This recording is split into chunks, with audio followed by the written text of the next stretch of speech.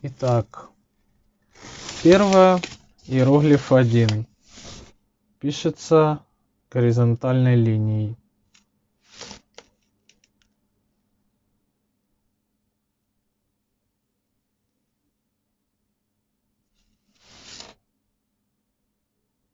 Ичи.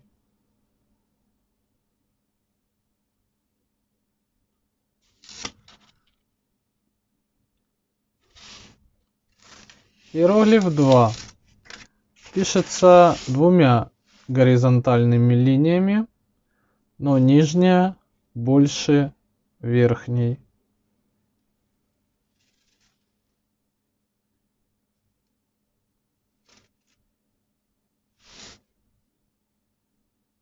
Первая. И вторая, которая длиннее первой.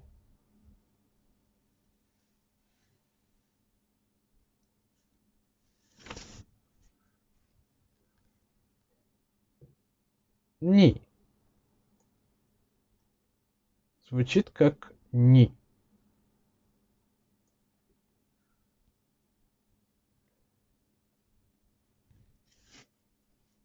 Число 3 по-китайски. По-японски пишется тоже в той же манере. Значит, тремя горизонтальными линиями. Первая, вторая, как первая.